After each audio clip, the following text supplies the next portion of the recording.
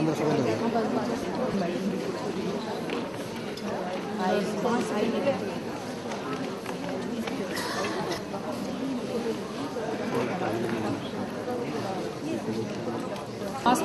गए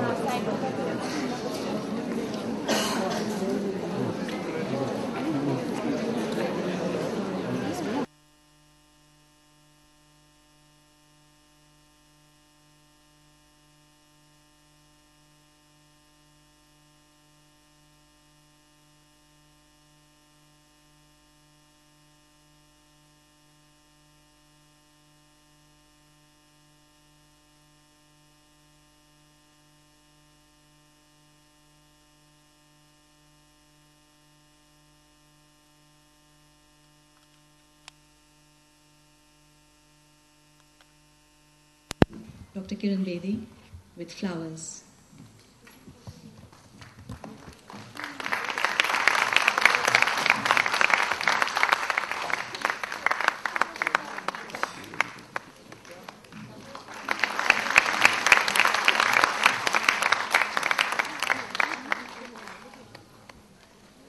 Our Honorable Vice Chancellor, who has always been so encouraging and so motivating in all our endeavors, is also here this evening, and we'd like to welcome him as well with a bouquet of flowers.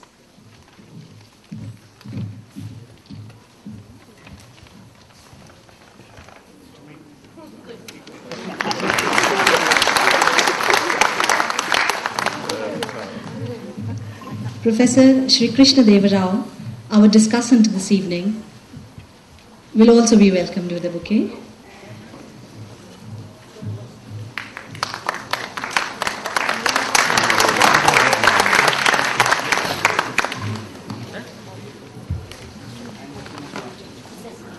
We begin, I think it's time to start the silent revolution. Would everybody please switch off their mobile phones? It's a reminder, and if you think you already have done it before entering the hall, I would request you to please, please check your mobile phones once again, because that is not the kind of music we would like to hear in the middle of the lecture. Please. I'd also like to request Geetanjali to be on stage and interpret this evening's proceedings to the students who have just joined the newly launched BA for Applied Sign Language in IGNOU. So Gitanjali is on the stage and she'll be interpreting this evening's proceedings. May I now request Dr. Lata Pillai, our Pro Vice Chancellor and the coordinator of the Silver Jubilee Lecture Series, to say a few words of welcome and to introduce our guest.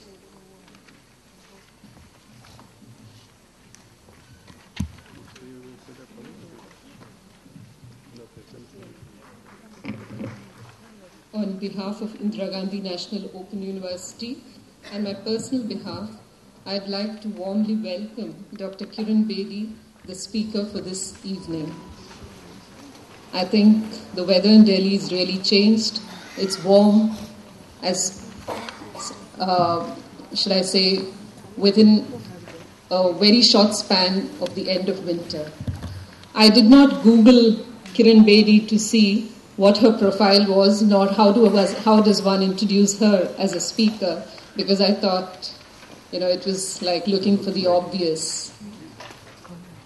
Dr. Kiran Bedi has always been a role model to many young women.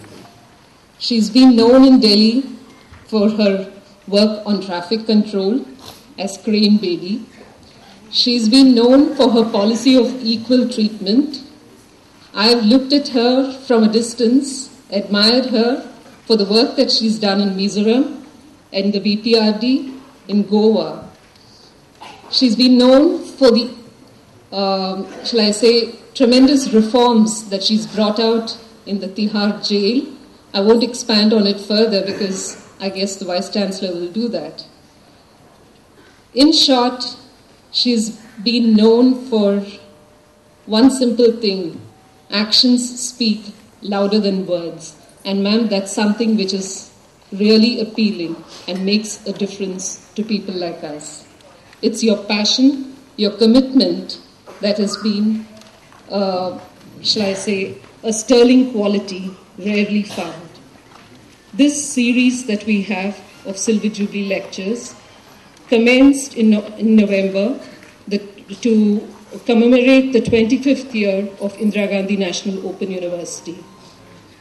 The celebrations or the activities were initiated by the visitor of India, by the visitor of the university, the president of India.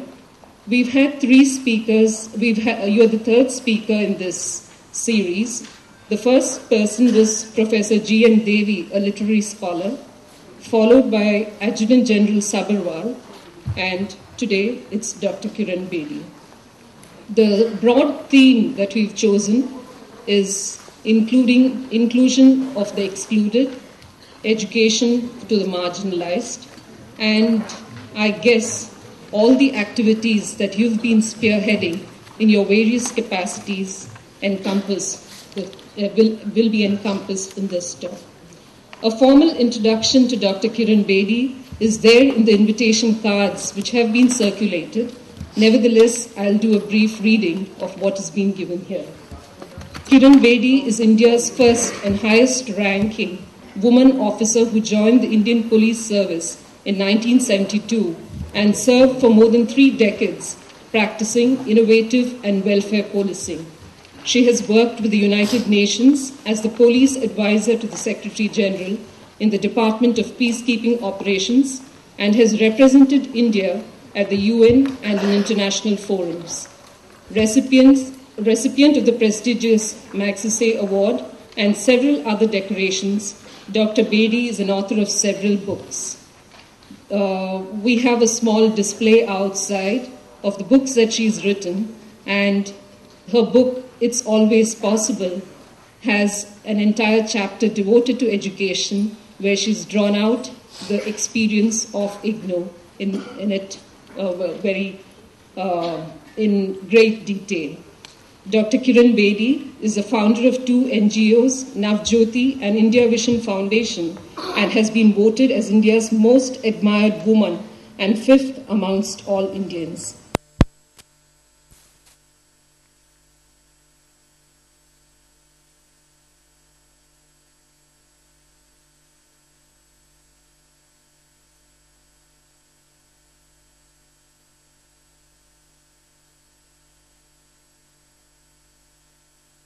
this activity. We have a discussant, Professor Sri Krishna Deva Rao, the director of the School of Law at Indira Gandhi National Open University. Professor Rao has been associated with leading law schools, the National Law School of Bangalore, Nalsar, Hyderabad, and Gujarat.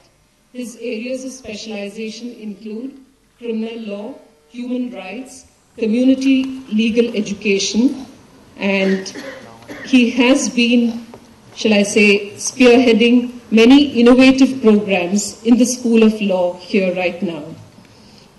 I'd like to extend a warm welcome to Dr. Seelima Nanda, the director of the International Division, who helped coordinate this entire activity.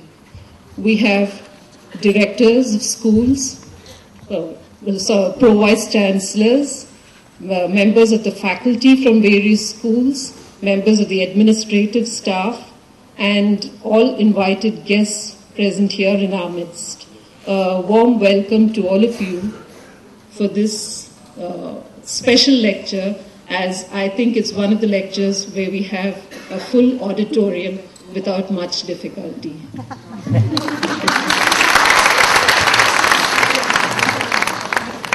Thank you, Lataji. May I now request our Vice Chancellor, in his capacity as he's presiding over this evening's proceedings, to deliver his remarks. Today's distinguished guest, guest Dr. Kiran Bedi, my colleagues, invitees, and other distinguished guests. On behalf of the university, let me extend Dr. Kiran Bedi a warm welcome. We are extremely glad that she has accepted our invitation to deliver the Silver Jubilee lecture, and uh, we are thankful to her. As a university, we are thankful to her. As ordinary citizens in this country, we are thankful to her in several aspects. One of the initiatives which she has started in Tihar jail that has taken great strides in Indira Gandhi National Open University, providing education for several thousands of prisoners. Madam, this year beginning, we have made this uh, education for the prisoners free for the prisoners, completely free. And I was just showing her an article which was published um, in the latest open letter of Indira Gandhi National Open University, Breaking the Shackles. And I, I'm IGNOU initiative uh, to offer education for prisoners. I think several such activities she has initiated in the country which has been acclaimed not only in this country, all over the world. Her talk, her topic today fits in uh, the inclusive education or inclusive growth program which we all say. Indira Gandhi National Open University for the last 25 years has been providing very opportunities for millions of people who cannot afford to come to the conventional university and education system. And in one of the Silver Jubilee lectures by Director General UNESCO, Ms. Irina Bokova, for, the, for your information, madam, she was referring Indira Gandhi National Open University as a living embodiment of the inclusive knowledge societies in a globalized world. And UNESCO has also identified IGNOU as the largest university in the world. In the UNESCO website, you will see description of IGNOU as a representation of the inclusive knowledge societies. I think your contribution and your ideas, all these things definitely will help us to grow, help this institution as well as institutions of this kind to grow uh, in the right perspective. Just, you, just now you mentioned about a new activity which we, which we can probably initiate. You will probably say more about it, about something, not just creating an awareness about the uh, problems of domestic violence, maybe starting some programs specifically uh, to curb, uh, which will help curbing of domestic violence. We will be happy to uh, get your guidance, get your coordination for that particular program in this respect. I don't take, I don't want to take much time. Uh, she's a teacher, she's uh, a social activist, and uh, let us hear her. And let me once again welcome you uh, to this very important activity, madam.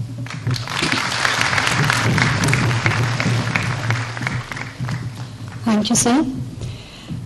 Before I invite Dr. Kiran Bedi up to the podium to deliver her address, I'd like to add to what our Honorable Pro Vice Chancellor said about her.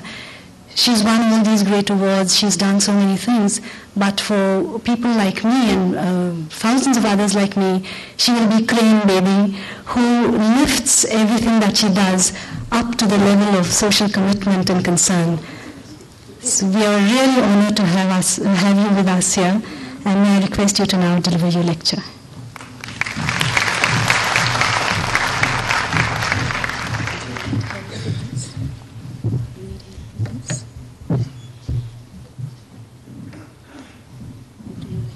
We can bring this down. We can minimize it, and I'll bring it when I need it.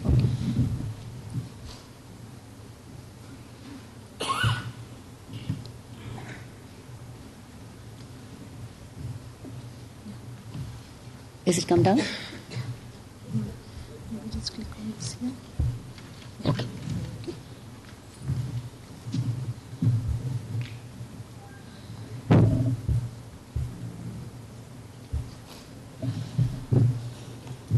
Thank you, Mr. Vice Chancellor. Thank you so much for a wonderful invitation. F5 if you do F5 it will क्या हुआ? F5 करने से आ जाएगा करना है इसको? मैं mouse को यूज़ करती हूँ। दिस इज़ द माउस ठीक है दैट्स राइट चलो इसको छेड़ते नहीं। ऐसे ही रहने देते नहीं तो ये चला जाएगा कहीं।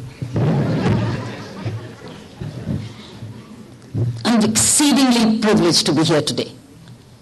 I didn't know that after so many years of imprisoning IGNOU, I will come back to your auditorium. It's true that many years ago, when as Inspector General of Tihar Prison, uh, your proposal of IGNOU to educate the prisoners was pending for years. And this was the first thing I detected which was pending and was immediately introduced. In fact, it was like a reach out. I needing you, you needing me. And that's how we began the program in 1993. It's fully documented in the book, It's Always Possible, for posterity to know. So therefore I'm very grateful that what you did for me those many years ago, how willingly you came and offered your educational services so generously, so wholeheartedly. So I think it is an overdue gratitude, not in the form of a book, but to be here to personally thank you, Mr. Vice Chancellor. And what I like about is how you've taken this program all over the world, all over the country, which means it's a revolution. I'm sure it will be the most unique program of its kind in the world because I have not seen such an open, free program for prisoners in more than 35 prisons I've seen around the world.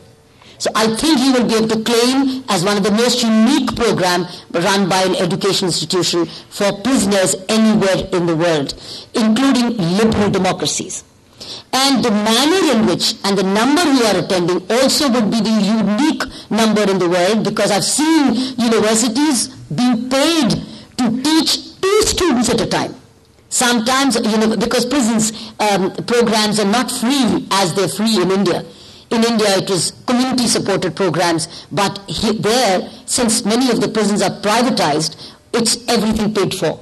So therefore, even the prisoners to the universities who come to educate prisoners, they charge their fee. Nothing is free. Overseas, nothing is free. In India, everything is free. it's either free or it's subsidized. In the, in the Western, it's either not free or certainly not subsidized. So friends, it's, it's full marks to you. I think it's totally in the Indian spirit. It's totally in the spirit of Indian culture. And the fact that I would say I'm proud of this culture because this is the way it should be. It has to be. And that's what inclusiveness is really indeed in practical terms. So friends, carry on. Uh, yes, I did suggest to Ms. Dr. Pillai two subjects, not one. Uh, one is domestic violence as a program. I think it needs to be understood. We have the laws, we have the infrastructure in place, but the knowledge about this law is exceedingly poor. And that is why it's very, it's not well used. But I think knowledge will prevent a problem rather than only detect or correct a problem. So therefore to have this, how can, it could be a training program for NGOs to manage domestic violence.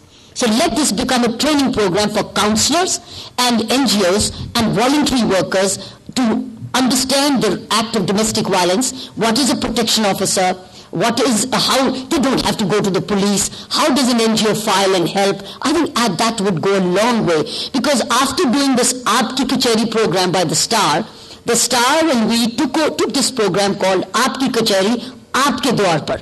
And we did a lot of training programs in the northern belt of india in the cow belt of India, Hindi belt, to reach out to NGOs. And we did in the last six months many programs in Lucknow, in Bhopal, in um, Indore, um, Chandigarh, etc. We did a lot Jaipur so that uh, we can train NGOs. I think there's a big knowing need. There's a great vacuum, sir. I would urge you consider it in whatever way I can support it and share my experience, I would love to. The second program I would suggest before I come to my subject, since you've triggered my thought on this, is drug abuse, drug abuse treatment. Because that's another area I'm in it for last 21 years. And I think it's another program which needs trained counselors. How at the moment it is a very shocking system. Uh, patients I treat and I help recover. Those are the patients who start these centers. They're basically ill-trained. So it's a quackery, it's a quackery treatment. So what they do is they chain the patients. They chain the patients to treat a patient. That's not the way to um, treat a patient. So I would urge that's a second program which is lying, uh, needing to be addressed my both the family counseling centers which I run as a part of my Navjyoti program and the drug abuse treatment program which is crime prevention which I started 21 years ago continues to run which I'm going to show you a slide can also be linked with your training program, which you can send students, we can look at research, we can look at relapse, we can look at the social profiles. So I am open for my institutions to become training material for you and to offer internships to your students who would like to do it. I'm open for that. I'll be very happy if I now we could contribute to this experiential learning. Now on the subject of police.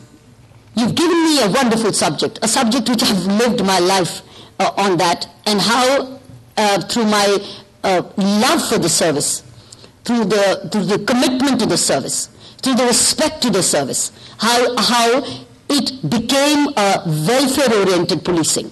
It became a power to correct, not just power to arrest. It became a welfare policing.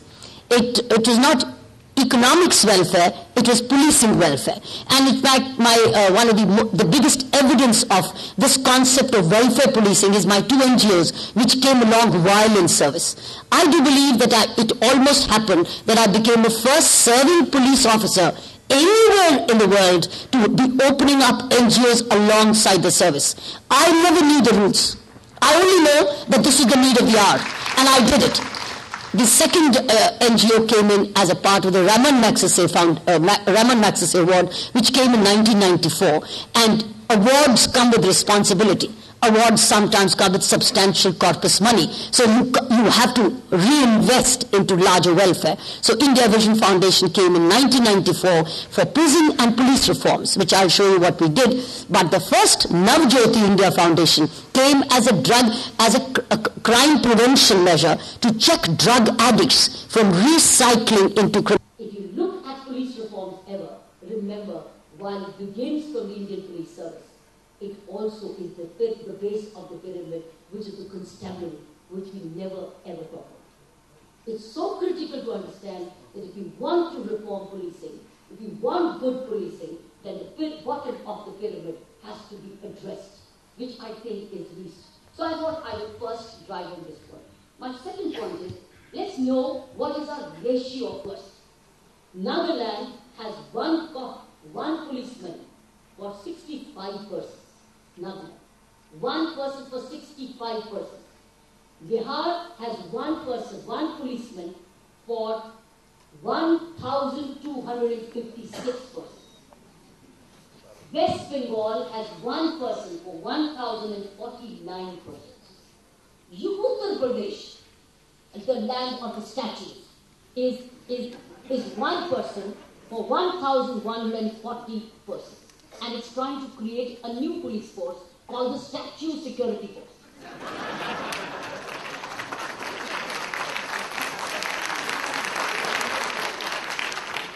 the number is likely to go up because there will be more policemen for statue protection. Sorry, not statue, elephant statue. and Chhattisgarh, Chhattisgarh, which is the home of Naxalites and others, has one policeman for 556. And Delhi, you and I are very privileged. We have one policeman for 250 people in. We are the elite and the privileged. Another city which would be, would, would be um, vying with us would be Chandigarh. So Chandigarh and Delhi are the privileged policing cities of this country. Nobody else is. And nobody else measures up to the UN standards. The UN standard is at least to have 222 persons per 1 lakh persons. 222 per 1 lakh people. So Delhi and Chandigarh are only close to that standard. Rest are far, far away. But even in Delhi, these 250 are not only meant for you and me. Three-fourths are away for VIP well, other states have their VIP securities, but the number of VIPs in Delhi we have I can eat into even that number. But the fact is, Delhi still has a better proportion. So I thought it's important for you as thinking elites to know how many police stations we have in India. We have 30,057 police stations and police force about 7,535.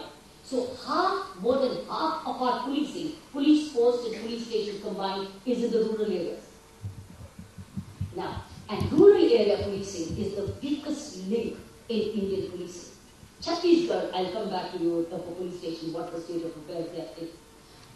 India has 672 cities. And do you know how many police commissioners we have? Cities, only 34.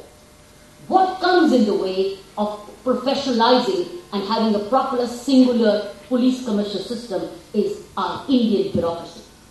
Indian bureaucracy and the class of the Indian administrative service does not allow allow more police commissioners to happen in many cities. Police commissioner system is a very singular system of accountability and authority rather than a diluted, diffused system of inspector general and the police commissioner system. I've said it so that I am I'm not here to be politically correct. I'm here to be professional. So I thought I would come straight to the point to tell you what is let me give you what my batchmate and current Home Secretary said, Gopal Pillai, in recently in one of his interviews. He said that 90% of India's internal security problems are there because there have been no comprehensive police reforms for the last 60 years. I'm very proud of my batchmate. Gopal Pillai is my batchmate, a friend whom I have great respect for. He is certainly there by his merit. This is a meritorious posting, I do see that. But, and therefore, he's had the courage to say that Indian police is the way it is because there have been no comprehensive reforms for the last 60 years. Who has been uh, blocking these reforms? I will come to that. But that's the way the current Home Secretary said. I've not seen another Home Secretary say this before. He himself said in his interview that the government of India they need to recruit at least 80,000 policemen each year to meet a 600,000 need in the next five to six years. That's why in his interview eh, he said Indian policing, if it does that, would alone be ready and prepared from seven years from now, six years from now. He's candid to admit that it's not going to happen now. It's not going to happen the current. It's going to, if, even if we start doing the right things now, they will happen probably six to seven years from now, even if we do it now, which we don't see happening. Look at police training issues. Jammu and Kashmir has, I believe, four training schools with nil result. And Bihar, till now, does not have a train, police training school. Probably it needs IGNOU to train policemen. Many of the deputy superintendents of police currently employed, currently employed, currently employed, newly recruited, young sub-inspectors, master and graduates, probably are certainly not computer trained even now. I urge free police, free computer training for policemen. I urge you to do that. Free computer training for anybody who's in the police. This is the only way to revolutionize IT training. That would be a singular contribution in police reforms.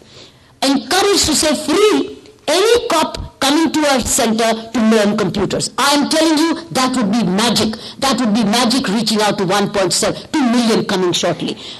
If we can do it for prisoners, let's do it for cops. Listen, that's an area to do it. That's an area where directly we will benefit. Let's do it because, I'm saying why. Because the, if we depend only on the state governments, my friends, it will not happen during my, your and my lifetime.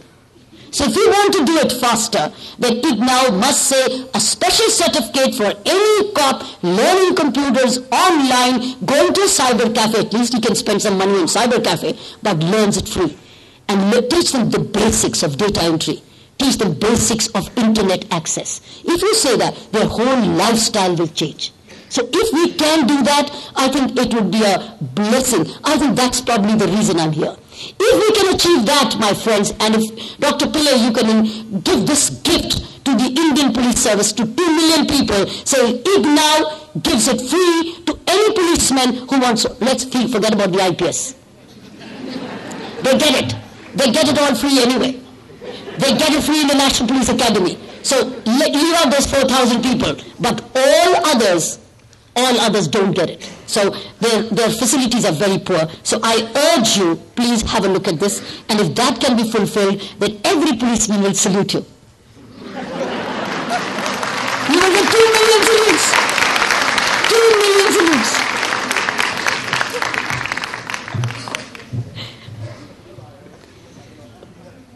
Look at some other realities before I come to other issues. I told you about Chhattisgarh. There's only one police station in Antagar with 11 men. And this is most ridden by violence. Imagine, only 11 men. This is happening around the country. That's what rural policing is all about. In UP, the normal tenure of a superintendent of police is only two months. In West Bengal, as per Gopal Pillai's interview, he said you needed a party chit to record an FIR. Who's, who said yes? Somebody said yes. Somebody probably has experienced it. He said that they, somebody went for an FIR to be lodged and उससे थाने वालों ने पूछा party से chit लाए हो बोले नहीं वो क्या होता है बोले पहले सीपीएम पार्टी से चिट लाओ फिर आना तो वो गए चिट लाया और फिर जाके रजिस्टर हुआ और जब चिट लाया means authorise to register a case Another situation again given by Gopal Pillai is it is his interview which I found, very amazing. I mean, he's not denied it so far. Is he says that in a particular police post, when um, I think the time when Sing, Sing, uh, Lalgarh was active, etc., they went to a police post and found the police post vacant. They said, "Where are the policemen?" They said, "They've gone home." Why? Because this is a five-day week. We are CPIM members.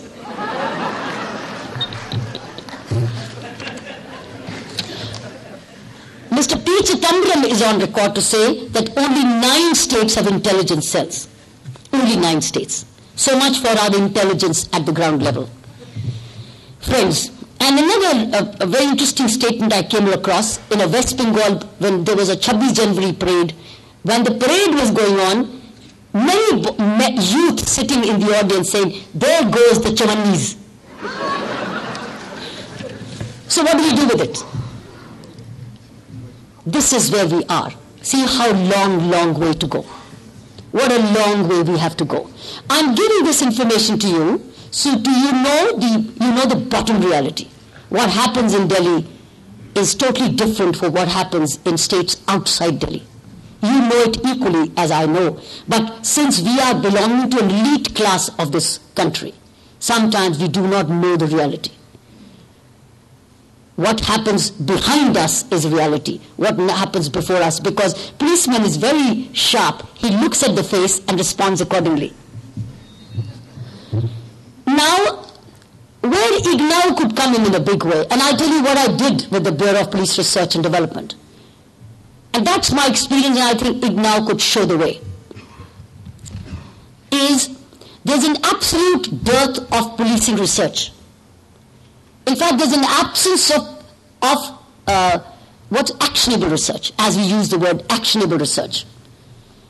Because who is the res- where is the police research? You may ask me, who researches policing? Who researches policing? They don't get well, students would like to research policing. Criminologists would do, sociologists would do. They would like to research policing. But who researches? And where is the research finding? And does the research finding come, become public? Does it become a debate? What happened in the last 60 years, I've seen. Why? Because the data is not available. There's no right to information on that. You cannot ask the police station to give figures. And number two, the figures are also, as I said, is based on a chit from the party. So therefore, there is a huge dearth and drought. That's where IGNOU comes in. I, I don't know whether IGNOU has a center for police research. And if you do, then coming as an IGNOU student for police research, in particular police research, you will be doing human service to police reforms in this country. Because your research cannot be hidden. It will be public. And it will be policy making research. And nobody else can do it, I can tell you that. States have no resources to do. And BP, where I was, Bureau of Police Research and Development, had no budget to do research.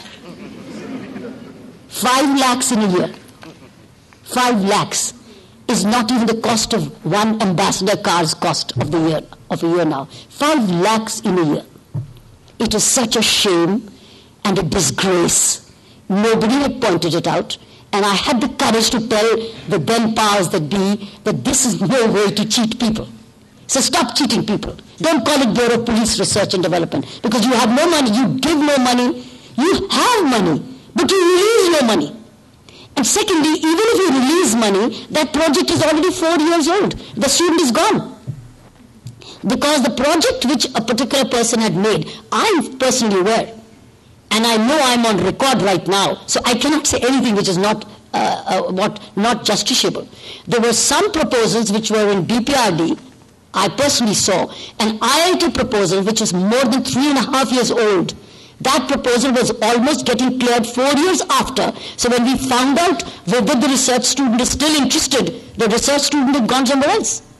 So where will the research be? So basically I'm trying to tell you that there is very inadequate, even if there is some. Maybe the Tata Institute of Social Sciences is doing it, or somebody else, I don't know. But that research is not impacting research, it's not actionable research, because policing is not researched as a subject in India. Because there is a, a no data, no, no access to information. Secondly, there are no resources earmarked. Third, there's no interest because we've dried up the interest. What did I do as DGBPRD was to bring in registrars of universities at no cost to the government and then challenge the registrars saying, why don't you encourage research? Why don't you give these as subjects? Why don't you form teams to research subjects? And so research what? Let's research victim survey in this country. Let's research security index in this country. Let's research the pattern of crime reporting in this country. Let's research the crime patterns emerging in this country. Let's research the state security feeling and perception in this country. Let's research. Look, CNN IBN does a program at the end of the year to do this survey. They do surveys, they don't do research, and it, it makes an impact. And do you know one of the last surveys they did, Aaj, Aaj Tak did, is the uh, trust in policing. And I was shocked to hear 95% did not trust the police. That was a bankruptcy of amazing kind. And we never could, we never got alarmed by that. That when 95% don't trust the policing, what is this department doing? It, nobody shook. Nobody was angry. It just went on and on. And a recent survey, another one, is 70% trust judiciary, which is brilliant for me. I'm very happy to realize 70% still trust the judiciary. But 95% don't trust policing. Friends, this is an area. IGNOU can again lead this area. If you don't do it, you'll be one like many others who didn't do it, who could do it. You could offer special scholarships for this. I don't know, this needs a very strong surge because if you're going to depend only on one iklota BPRD in India, then there is no research. So that means there is no research. How did American policing change? America policing changed for two factors. Business plus media. American policing changed only by two factors. Business got up and said enough is enough. We can't have this lawlessness because economy is so much, so much security related. So they pumped in money for research. They pumped in money for research and lot of research. Universities, they gave grants to university. Universities then uh, allowed scholarships. A huge amount of research on policing happened, all on the table. Media played it up and research started and change happened. Friends, this is the secret of many years ago how American policing changed. It's the business houses which sponsored police research, gave the money to the American universities, which are chairs by now, and research happened. And it's constantly research and every bit is exposed. So friends, what do we do? It's we need new systems of reporting. What are the new systems could be? Who will tell as a policy. So I, I, how do we use technology? We need to research this. What could be the new systems of reporting? Because we know systems are not correct.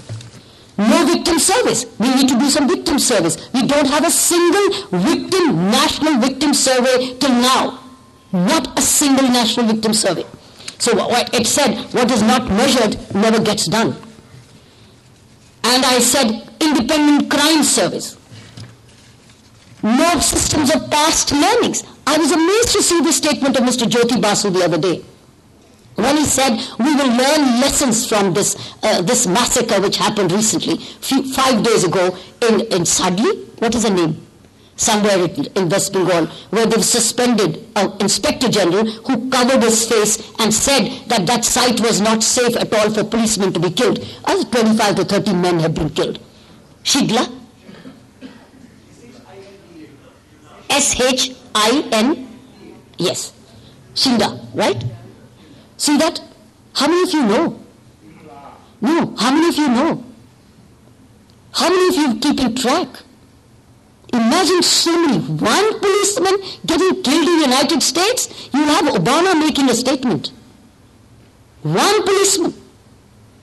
And here 30 of plus policemen uh, die. We are also used to it now.